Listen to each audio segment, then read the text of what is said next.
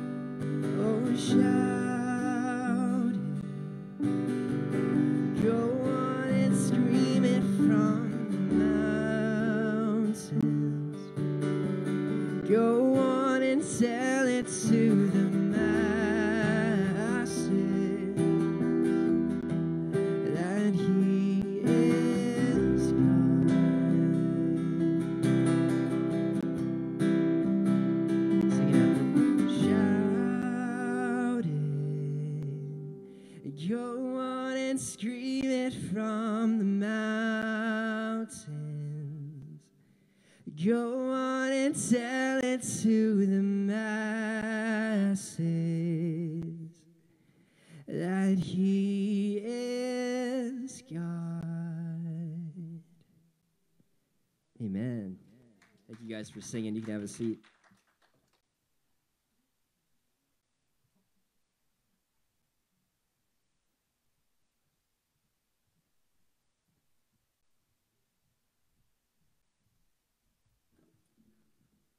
Before we uh, jump into James, I want to remind you guys to stay connected this week. Um, we've got some great opportunities to do that. Uh, some of them we'll talk about later, but one of the greatest ways that you can stay connected is by going online and filling out our connection card. Or if you're in person, there's connection cards on the back table that you can fill out as well. It's a great opportunity to let each other know how we can pray for one another. Um, so that's found at pondhill.net slash Sunday. If you're online, you can get it there. Or if you're in person, you can pull up your phone, fill that thing out. Um, and uh, that's going to be super helpful. If you are in need of anything this week, if you need anything from us, or if you have any prayer requests that you'd like the staff to pray for, go ahead and just write us a note in that as well and share your prayer requests. Um, there is uh, a prayer letter that goes out every week, and we include those prayer requests. So um, we would love to be praying for you this week, and I think everybody else here would. As we're thinking about our own prayer requests, we want to remember the prayer requests of our global partners as well. So this morning, we are focusing on the Lalondes. There are missionaries to Quebec, Canada, so they're um, some of our closest missionaries, and um, they have a ministry up there where they're leading a church and they're doing doing uh, things in their community. So we want to be in prayer for them. Um, I know I, in reading their letters that COVID has been a big deal uh, there, just like it has been everywhere else, and so they're sort of still recovering from that, just like everybody else is.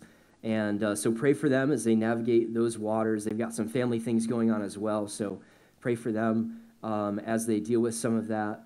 Uh, if you want to hear more about those missionaries or any missionaries, you can always let us know. We have their uh, prayer letters that we can send to you, and uh, you can read what they're doing and how they're ministering and um, the cool things that God is doing and some of the things that they're asking God to do as well. So, uh, what we're going to do is we're going to take a moment to pray. I want you guys to pray for what's on your heart and then also pray for the Lalondes. And then uh, I will pray uh, after a couple moments and, and we'll jump into our uh, teaching on James.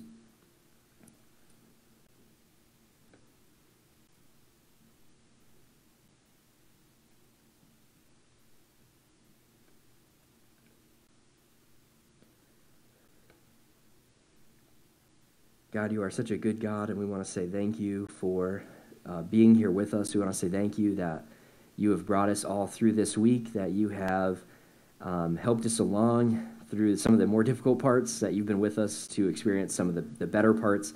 And uh, I pray that you would reveal yourself to us in uh, your word and through what's said and through the conversations that take place here as a community and uh, through the words that we sung. I pray that we would just see you clearly uh, because we know that as we get to know you, we get to become more like you. And uh, we want to be somebody that reflects your, your goodness and your beauty. So I pray that you would teach us how to do that better today.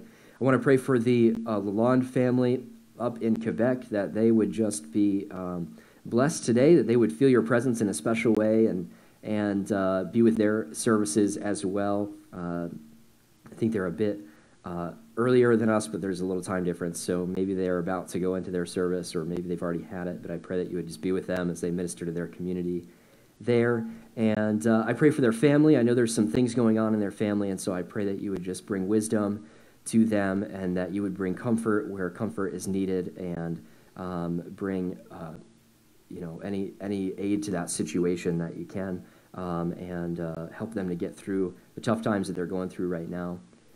I thank you so much for uh, the opportunity to be together, and I pray that you would just give us a great Sunday. In your I pray. Amen. I hope that you guys have been uh, following with us in James. We have been studying through James, and it has been such a cool study. It's been a difficult study because James is a little uh, pointed in some of his language, and also there's just so, so much content in this in this book, uh, even with the time that we've allotted for it, which is big. This is one of our biggest sermon series this year. It's just not enough to get through everything. So um, so yeah, it's been a little challenging for us on the uh, pastoral side, trying to pick out what to and not to talk about, and um, how deeply to get into it. So, so when uh, when me and Dad sit down to do the preaching schedule, we do it a whole year in advance, um, and I don't necessarily keep track of what what week we're talking about what. Like I don't really know that until the week of because it's just a lot of information to go through. So I just we do it in one sitting or two sittings, and then I kind of let it there. But so I so when uh, my father decided to go away this week, this was sort of sort of a last minute decision. He decided to go down and uh, enjoy a wedding reception with my cousin. Um, and so he's down in Texas right now. So pray for him as he'll be traveling back up here this week. But um, when he said he was going to be away, uh, I thought, oh, I wonder what we're teaching about on Sunday. And then I said, I got 20 bucks. This is the sermon on generosity. Like, I just knew it had to be because we, I knew there was a, somewhere going to be a sermon on generosity. I did not know it was going to be this week, but I said, once dad said he wasn't going to be here, I said, guess what we're going to talk about? It's going to be generosity. And I was, and I was right. It was generosity. We have kind of a running joke that since I've been hired full time at the church, dad has never spoken on money or generosity because I always end up having to preach those sermons. It's not even intentional. It just happens to be that, or maybe it is intentional on his part. I don't know. Whatever. All kidding aside, though, I actually don't really mind about talking about giving and generosity because, um, you know, it's a lot of thing that it's it's one of those things that a lot of preachers dread talking about because they feel like they're asking for people's money or or maybe they're just uncomfortable talking about that kind of thing. But it, it seems like a lot of us have been raised with maybe that experience where we've had that experience where there's been a pastor asking for money a lot, or maybe every Sunday there's like this big ask for money or something like that. That's an experience that a lot of Christians have had over the years. But I really don't mind talking about it because I think we have a really generous church, first of all. Um, and we're going to talk about that actually later in our, our business meeting. Um, but but as also, as Gordy likes to say, I don't think that we can outgive God. So, so ultimately, I think that generosity is really important. And here's like the big idea for this morning, okay? Yahweh is a generous God, so we too should be generous. That's like the big idea. That's it. We can all go home. It's all done now. No, not really. So here's the thing James actually talks about this a ton. So I want to walk through the book. We're going to start in chapter 1, end in chapter 5. We're not going to read all of the book, but we're going to look at the times where he talks about uh, generosity. So stick with me. Grab your Bibles if you, if, you, if you haven't already. We're going to be flipping through those pages. Now, there's a running contrast in James about the rich and the poor. So I think we need to start there because James talks about these two groups individually sometimes. Sometimes he gives specific instructions to one or the other, um, or sometimes he condemns one and praises the other, or vice versa. Um, and so we got to talk about what the rich and the poor are. So um, we have to remember here's where we're going to start. We have to remember that when James references the rich and the poor, we as 21st century Americans are classified in the rich category, not the poor category. Okay? We, we have to remember that when James references the rich and the poor, we as 21st century Americans are the rich. Now, I know some of you may not feel very rich, and trust me, I'm right there with you. Um, and uh, however, in context, we as Americans are super, super rich. So compared to the rest of the world, the average American is considerably better off. And I, I looked this up uh, on Pew Research, which is a, which is a, a statistic um, organization that puts together a lot of statistics. This is what they said in this article. The U.S. stands head and shoulders above the rest of the world. More than half, 56%, of Americans were high income by the global standard living on more than $50 per day in 2011, the latest year that could be analyzed with the available data. So it was a little while ago, but I think it probably stands even more true. Another 32% were upper middle income. In other words, almost 9 in 10 Americans have a standard of living that was above the global middle income standard. Only 7% of the people in the US were middle income, 3% were low, and 2% were poor. So that's not to say that US along with other advanced economies does not struggle with issues of income inequality and poverty, but given the much higher standard of living in the US, what is considered poor here is a level of income still not available to most people globally.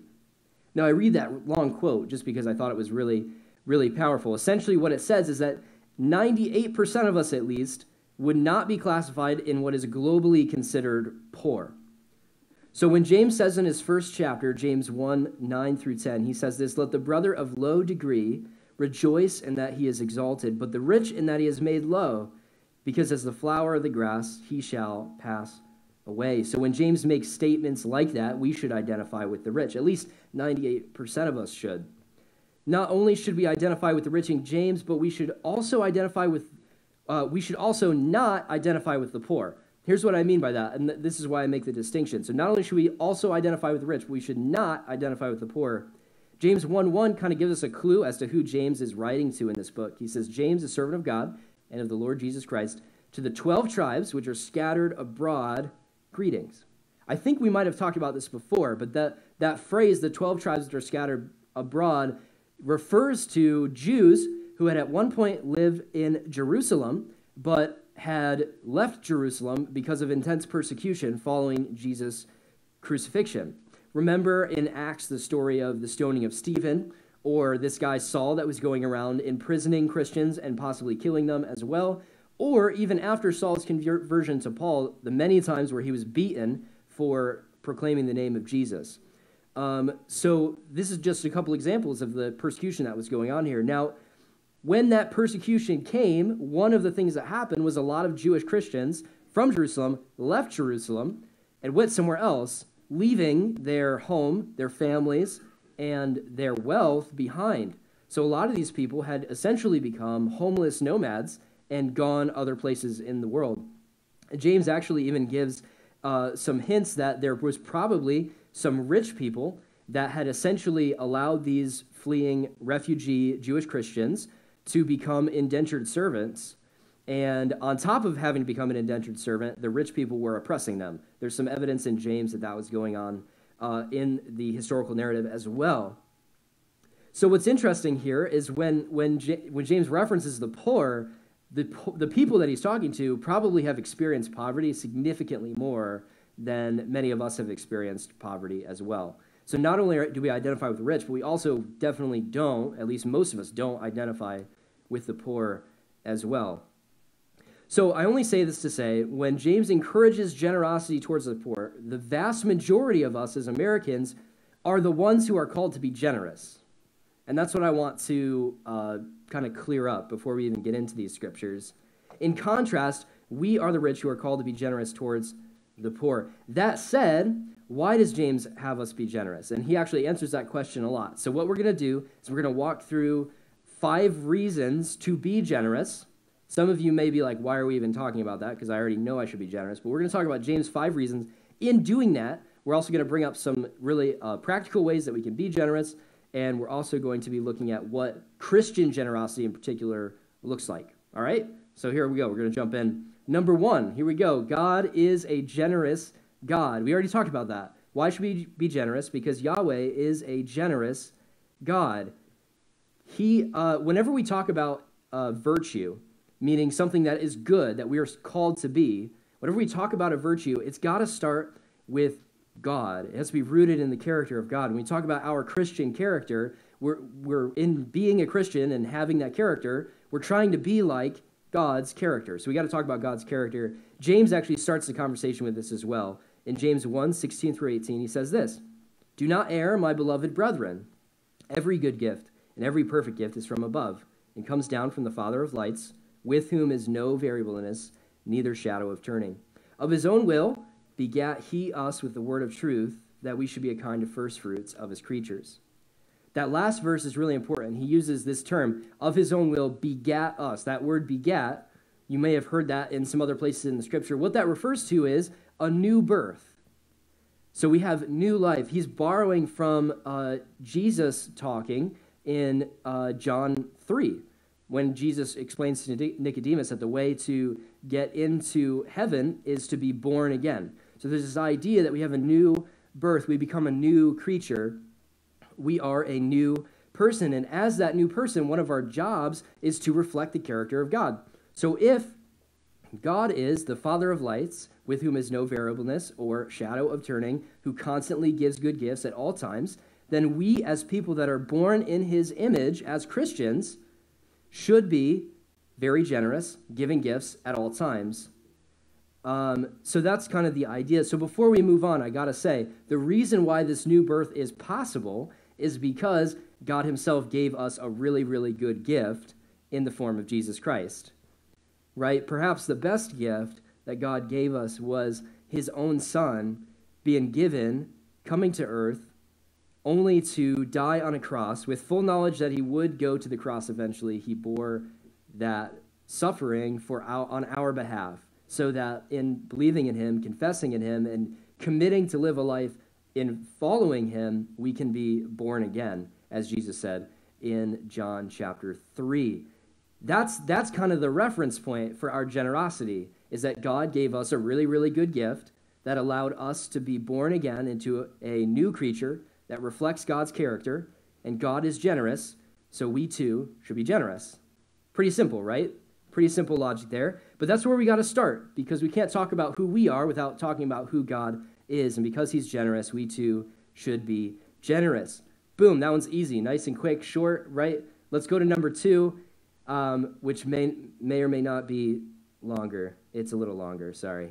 Here we go. Generosity reflects God. We already kind of talked about that. So, one of our primary messages in James is to not only be a hearer of the word, but also somebody that does the word, a doer of the word. Many of you guys have brought that up in my life group as the most most uh, important part of James, the biggest takeaway of James, that we're not just to be a hearer of the word, but a doer of the word. In fact, our our series, Real Faith, is named after that concept. We don't want to have fake faith that doesn't act what it hears. We want to have real faith that acts like what it speaks like. James talks about this specifically on two different occasions, and both times he references generosity. 1 James 1:25 through 27 says this, "But whoever looks into the perfect law of liberty and continues therein, he being not a forgetful hearer, but a doer of the word, this man shall be blessed in his deed. If any man among you seem to be religious and bridleth not his tongue, but deceives his own heart, this man's religion is in vain." Now we talked about taming the tongue a couple weeks ago. If you missed that, you should go on YouTube and listen to it. It was really, really good. It was a, a powerful sermon. It was a little bit of a kick in the pants, but it was a really, really good sermon. It's an important part of James. He mentions it many, many times. I would definitely encourage you guys to go to YouTube and check that out. If you missed it, I think it was two weeks ago. Uh, but here's what he says right after that in verse 27 Pure religion and undefiled before God and the Father is this to visit the fathers and widows in their affliction and to keep himself unspotted from the world. So let me summarize here. Pure religion is generosity. Pure religion is generosity. James mentions two things that identify you as a doer of the word. Number one, hold your tongue, right? Number two, be generous. It's interesting that those two things in particular, James would mention. What makes it even more interesting is that he does the exact same thing when he talks about it later in chapter 2, verses 14 through 17. He says, What does it profit, my brethren? Though a man say he has faith and not works, can faith save him?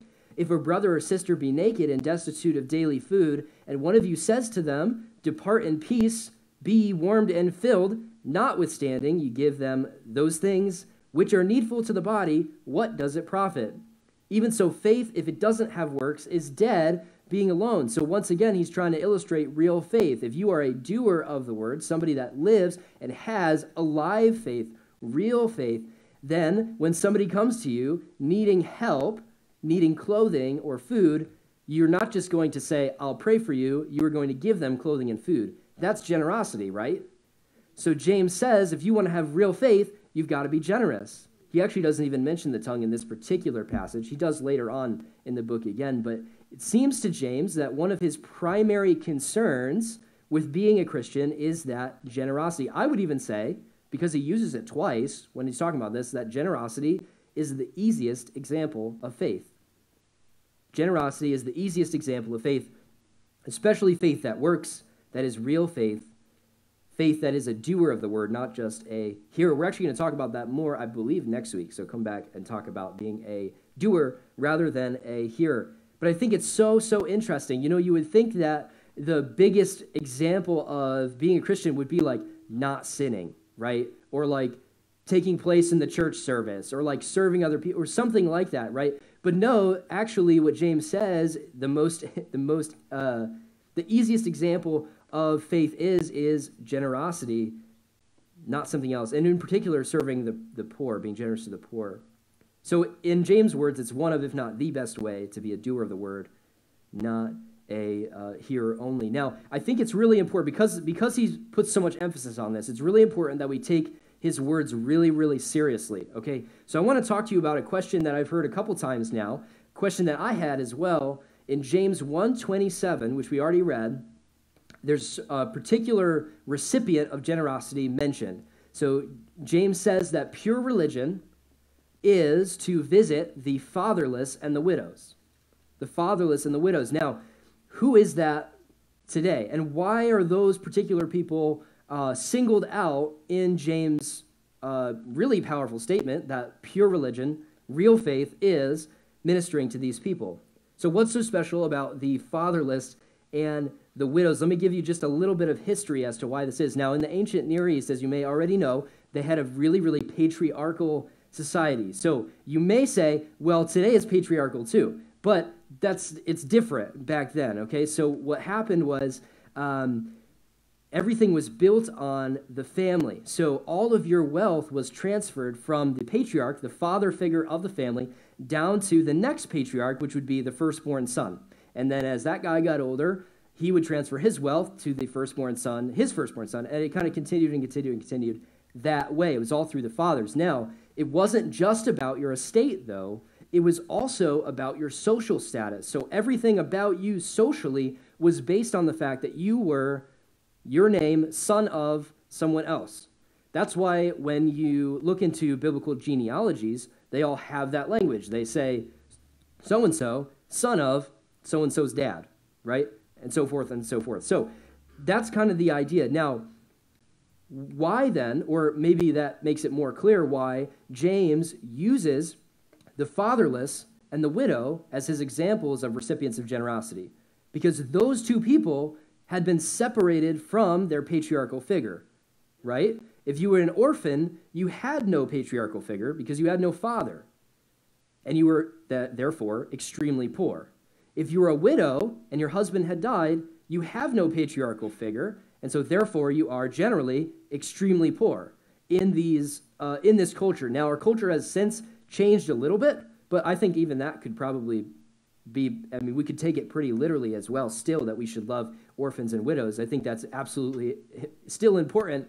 Um, but I think it was extremely, extremely poignant for people living in that day. So, what does that look like here in America? How can we kind of like see what James is getting at here? Well, I think what it is is James is asking us to love the people with the least amount of what we call social equity. The least amount of social equity. These are the people that, for whatever reason, are devalued by society for whatever reason, and they have less social equity. They overall make less money, and they have less capital, and they have less estate, and it's harder for them to get going. Th- that, those types of people. Now, we could debate back and forth on who those people are, right? We could say it's this group of people or this group of people or this group of people. Here's what's not up for debate, okay? It's not me. That's what's not up for debate. The people that are the least equitable, I would not fall into their category. That's what I know. So, so me, as somebody who is white, male, straight, etc., do not fall into the category of the least social equitable. And the reality is, we could label, we could absolutely label this. And I know this word gets thrown a lot of, around a little bit flippantly, but the reality is, is that I was raised with quite a bit of privilege, a lot of privilege. And so I, as somebody who is rich in privilege, need to be equitable to people of lesser social equity here. Now, I, like I said, I don't want to get into like super details and debates and things like that, but the reality here is, is that there's a lot of statistical proof that, in general, me as a white male, uh, cisgender person that grew up here is just, we, I have more privilege than other people. And the reality is, is that many of us still have more privilege than other people. I'm not really alone up here either. And those are just kind of like the buzzwords. I also grew up in like a very nice town. My parents owned the home in which I grew up. I have a college education. There's many other ways that I didn't even mention that I, I have so much privilege. The reality is that my background, my skin color, my gender, um, my sexual identity, all of these things have essentially given me opportunities to be the rich that James talks about. And if we go back to our conversation that we had, in reality, even if you don't share all the privileges that I share, you still are in America, and so 98% of you still have a lot more privilege than the rest of the world. Okay, so you don't leave me up here stranded, right? All, everybody else in this room probably has more privilege than most other people in America because it's likely that you drove a car which you own to come to service today, right? It's likely that you are living in a place that you can afford. I know that that's less likely than the former thing, but it's, it's likely that you're not worried about where your lunch is going to come from after service. Uh, all these things are, are privileges that we need to uh, identify about ourselves. And I personally have felt convicted by the Spirit over the past couple years as things have uncovered in our race conversation, in our LGBTQ plus conversation, in our um, just in general social equity conversation, I have felt convicted that, man, I have never really come to grips with the fact that I was raised in a very privileged environment. And so I need to identify with the rich and learn how to be generous like God is generous. Okay, I'm going to stop talking about that so that I don't get myself into too much trouble. So, when I hear James reference the fatherless and the widow, I think of people that are underprivileged, that have less social equity than me. And so, therefore, I am concerned with how to be generous. Now, this, I think, our, the author of our book, Greg Gilbert, that we're going through in Life Group, he puts this in a really, really practical way. So, listen to this quote In what areas of your life do you have a certain degree of power? How do you use it? For example, how do you treat your employees? The family that rents your property? The person who cleans your office building or school? The person who makes your food at a restaurant, do you treat them as a means to the end of your own self indulgence, or do you treat them as people whom God has put in your life for you to love and care for? When you find yourself in a position of privilege in any way, even simple, as simple as being the one that's sitting down at a restaurant, not the one that's serving you your food or the one that's cooking your food, even as simple as that, when you find yourself in privilege, how are you looking for opportunities to be generous? That is Greg Gilbert's idea with this quote. How are you looking for ways to be generous? And maybe it starts with tolerance, but then it continues from there. It leads to give blessings and good gifts, just like Yahweh, the Father of lights, has given to you.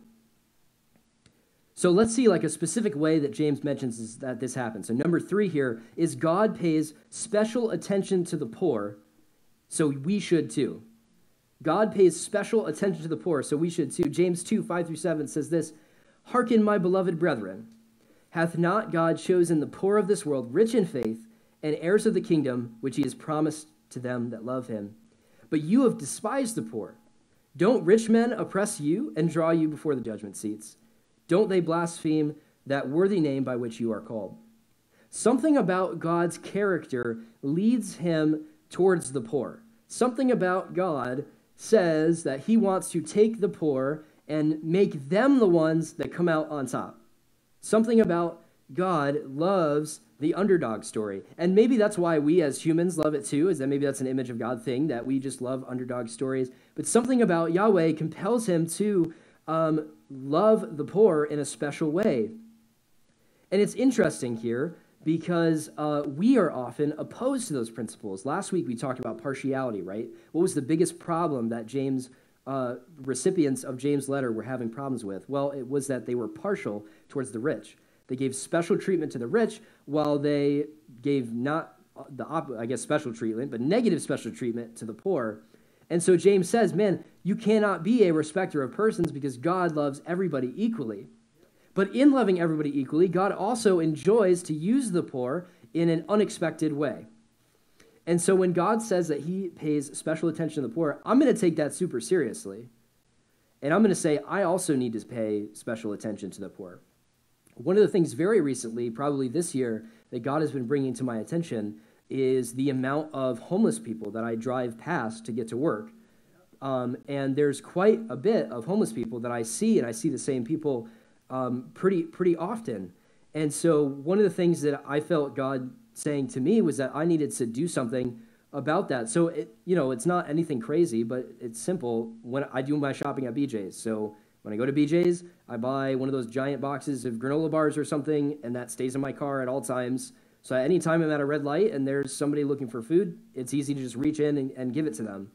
And it's really like simple, and I'm not trying to say that I, you know, I got the answer and I'm doing a great job. That's not what I mean to say. What I mean to say is that sometimes it's as simple as that. Just saying, man, homeless people are less equitable than me. I live in a home. Well, I live in an apartment, but you know, you, I live in an apartment or a home or whatever. You know, they have less equity than me. So as an image of God bearer, I need to be generous to them, and it could be as simple as that. You know what I mean? But it also could go further than that. You can figure out what it looks like for you in, in your own life. Um, but I think that we need to have our eyes open for people that are less socially equitable than we are and look for ways to be generous to them at all times because God has a special attention for those people. So I think we should as well. Ultimately, Yahweh is a generous God, and so we too should be generous. Here's number four generosity is a part of choosing God instead of choosing the world. James puts it this way in chapter 4, verses 2 through 4. He says, You lust and you have not, you kill and desire to have and cannot obtain, you fight in war Yet you have not because you ask not. You ask and receive not because you ask amiss that you may consume it upon your lusts. You adulterers and adulteresses, know ye not that friendship of the world is enmity with God? Whosoever therefore will be a friend of the world is an enemy of God. Here, James is addressing a specific problem that is the opposite of generosity in his uh, readers. He says that you guys want things for yourself so much that you're stepping on each other, you're hurting each other to get those things. And the reason why you don't have those things is because you don't ask for them, or you ask for the wrong things because you just want those things and you're going to spend it on your own desires, right? And so that is the idea here. That's the thing. The world's way is self indulgence. Self indulgence. The world's way is to say, if you want something, you go after it, right? The world's way is to say, if you have to get around other people or step on other people to get there, go for it. Because it's all about self indulgence. But what James says is we should not be that way. In fact, what that is, is what he calls friendship with the world. He says every Christian has the opportunity to make the choice Am I going to be a friend of the world and an enemy of God? Or am I going to be a friend of God and an enemy of the world? He puts a really clear choice. You can't do one or the other. You can only do one because friendship with God is enmity with the world, and, and friendship with the world is enmity with God. So there's, there's one way that I think is really, really important to identify with God. So I've heard it said that if you want to know what somebody cares about, all you have to do is look at their checkbook, or now that we're in the 21st century, look at their bank statement or their mobile app or something right? So, and I think that that is like a really, really uh, powerful point because it's absolutely true. If you were to look at my uh, bank account, you would see that I am like a hyper nerd that spends a lot, of, way too much money on cardboard and games and things. Um, and you would see, you know, some other things that I care about having a place to live, and um, that that's food. Yes, at least a small amount of food, and uh, and and the church, and that's like pretty much it. If you I'm, I'm kind of an open book on if you were to look at my finances. I don't spend money on a lot of different things. I just spend too much money on a few things. Yeah, some of you guys might be with me on that too. So, um, you know, I'm not I'm not saying necessarily that I'm not going to tell you how to spend your money specifically, but what I am going to say is that if somebody was to look at your bank account statement, would they be able to tell that you are a friend of God more so than you're a friend of the world? Is there a line item in your bank account or on your bank statement that says this person cares about the things of God? I don't want to tell you exactly how to spend your money. That's not my goal today. What I am saying is that there's a really strong scriptural precedent for giving to the things of God, which often take place through the church. So I think there's a really, now, I've got an 11 page manuscript in front of me right now Two paragraphs are on giving to the church out of the 11 page manuscript. So I don't want this to be taken out of context. This is a very small part of what generosity is all about. But I do think that there's a lot of precedent to giving to the church. Now, a lot of people talk about tithing, okay? And you might say, well, tithing isn't even mentioned in the New Testament, so why are we even talking about it here in a Christian church? Well, I believe in I believe in the tithe. In fact, I believe in the tithe enough that I pay the tithe as somebody that's paid by the church and that works for the church. Here's why I think that the tithe is important because the tithe is less so about a percentage than it is about giving the first fruits. In the Old Testament, God set up that the Israelites would bring the first 10% of their crops to the temple and donate to the temple, and that was used for ministry, and it was also used to, to uh, sustain the people that didn't farm that worked the temple instead. That was kind of the idea of the tithe. We don't live in that society, so we don't have to tithe. Okay, that's fine logic. However, the idea of bringing the first portion of your income to the Lord, I think, is bigger than just an Old Testament practice of tithing. I think it's really important that when we sit down, so if you were to sit down and look at my checkbook, you can see that sometimes I'm late on stuff, right? Occasionally, usually within the grace periods, I'm late on things.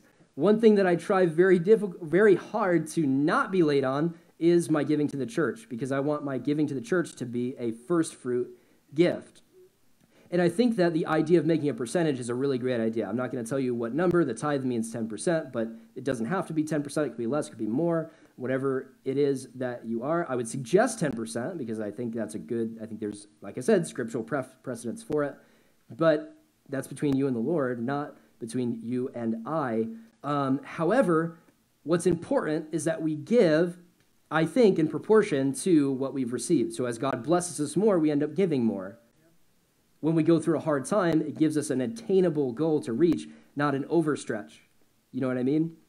Um, so I think that it's I think that it's really important to do a proportional gift that is your first fruits. It's the first priority of your finances to do that, such that you would be willing to be late on something else so that you could pay it. That's just my that's an example for me. Maybe some of you guys are in the same place. Maybe you guys are better established and more responsible than me, and you don't have that problem, but I sometimes do.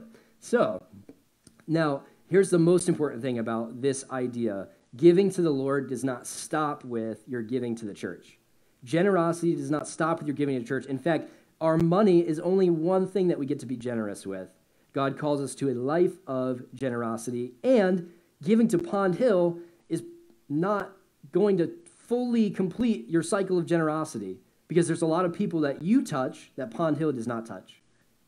The homeless people that I give like a granola bar to, they may never walk through the doors of this church. They may never call this church to get a food card or, or we, you know, we give those things out, but there are people that I see as Michael Sean that I have the opportunity to be generous with that Pond Hill Baptist Church will never have the opportunity to be generous with. So it's important that it's not relegated to just a 10% tithe, you're good. It's like you need to be generous with your whole life and find ways to do that. And your generosity towards Pond Hill Baptist Church is a very small two paragraph compared to 11 pages of generosity amount of your generosity. Okay? We on the same page there? Cool. Let's wrap this thing up. Number five, it says this generosity reminds us that we are not in control. Generosity reminds us that we are not in control. One more thing here. This is concerned about not just what you do with your money or what you do with your wealth or how you are generous. This is concerned with your mindset about generosity. Uh, in, so I mentioned before that there were some people that were rich that had taken these Jewish uh, refugees and made them indentured servants, and then on top of that, mistreated them as indentured servants, okay? So in James chapter 5, I'm actually not going to read it because I'm running out of time. James chapter 5, verses 1 through 6, James spends some time like really condemning them, saying these people are not good. They're gonna, you know, they're gonna get it in the long run. Like they they might look like they're rich now, but it's not gonna end well for them because they're evil and they're oppressing you and all this stuff, right? Well, he starts that in, in 5 1, he says, Go to now, you rich men. Okay? He starts it there. Keep that in mind. Now go back to 413. Here's what 413 he says, "Go to now, ye that say, today or tomorrow we will go into such a city." So what I want to point out there, James is making a comparison between Christian Jews who are reading this letter and non Christian rich oppressors, but he's comparing the two of them by starting his phrases with the same beginning. Okay? That's the important thing that I want you guys to get. So he's saying, don't be like them. Here's my advice on how to not be like them. 413, go to now ye that say, Today or tomorrow will go into such a city and continue there a year and buy and sell and get gain. Whereas you know not what shall be on the morrow. For what's your life? It's even a vapor that appears for a little time and then vanishes away. For you ought to say, If the Lord wills, we shall live and do this or that. But now you rejoice in your boasting. All such rejoicing is evil. Therefore, to him that knows to do good and does it not, to him is sin. Like I said, this is contrasted with the next portion of Scripture that's all condemnation, it's all negative. Those people are not going to be good. So the idea is that, right, you should say, if the Lord wills, you should recognize that the Lord is in control. Because when you don't and you fully rely on yourself, you become just like the people that are oppressing you. That is the idea that James is talking about. Now, wealth cannot bring control because wealth is temporary, right? Wealth cannot bring control because wealth is temporary. Ultimately, that's the principle for us to be generous that we believe that there's something higher than just the stuff we have in our bank account or the things we have on our shelf or the stuff in our apartments or whatever. There's something higher than all of that. There is an eternal God and an eternal life that we're supposed to live in perspective of, right? So we can't be those people that say, man, I am in control. I'm going to do this. I'm going to do that. Planning is great. There's nothing, that's not what the scripture is about. What the scripture is about is saying you are not in control of your life, and therefore you are not in control of your finances, right? God is.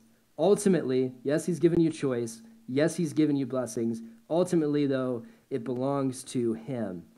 And so we really cannot walk through life with this idea that everything's about us and we can make our decisions and we can spend our money how we want to and nobody should be telling us how to spend our money and all that stuff. No, God owns your money. God owns your time. God owns you, whether you think it or not. You belong to the Lord, and so He has a say in what you do and what you don't do. And more importantly, He's the one in control. So take your eyes off of yourself and look around at the things that He cares about.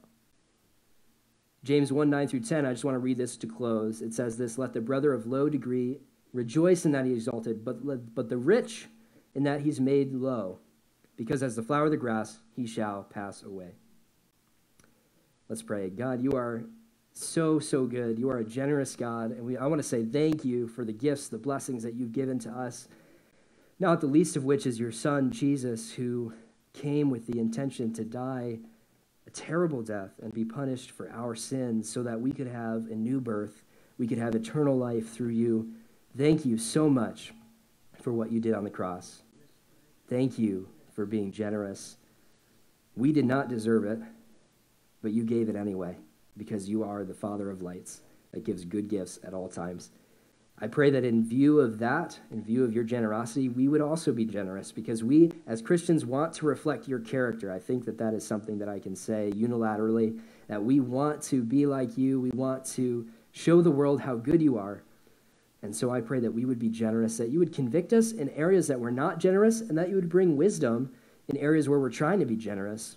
Help us not to be stagnant, not to just write a check and forget about it, but help us to constantly be thinking about generosity, be thinking about looking for the less equitable than we than than we are then and help us to uh, reach out to them in special ways to pay special attention to them because we know that you are paying special attention to them as well in your name i pray amen I think it would be an awesome idea for you guys to read through James. We read a lot of it today, honestly. We, we read something from every chapter except for chapter 3, I believe but um, in chapter 5.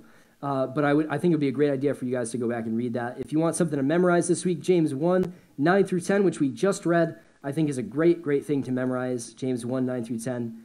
If you have not received the gift of Christ yet, if you have not trusted in Jesus for salvation, if you don't know what that means, if uh, I was saying some things that you were having some questions about, we would love to help you with that. We believe that the greatest gift ever given is God's Son that leads to eternal life. And we would love to talk to you about that. So come grab uh, me, come grab somebody else. Many of us would be thrilled to talk to you more about Jesus, and uh, we would love for you to trust him today. For those of you that already trust Jesus and want to follow in what the scripture has commanded here, um, find ways to be generous with, to someone with less social equity than you this week. So that's going to first require us to be looking for those people, and second, require us to do something, to be a doer of the word and do something about that situation. It could be as simple as giving somebody that's homeless food, it could be as simple as maybe giving for the first time to the church. It could be as simple as going and writing a line item in your budget for some of this stuff. Um, whatever it is for you, like I said, I'm not going to tell you how to spend your money, um, but God might. So pray and listen to Him and ask Him for wisdom in this matter.